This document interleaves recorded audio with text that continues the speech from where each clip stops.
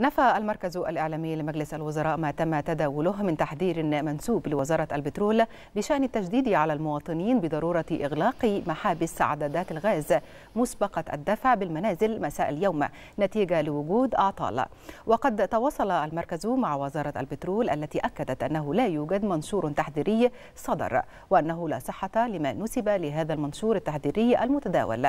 وشدد وشددت الوزارة على جودة وكفاءة كافة عدادات الغاز الطبيعية سواء التقليدية أو مسبقة الدفع.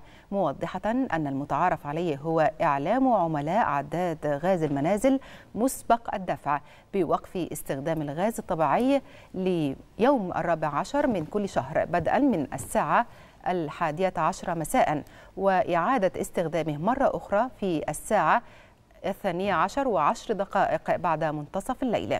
وذلك لإجراء عملية صيانة ذاتية لتلك العددات في ذلك التوقيت دون وجود أي أعطال فنية.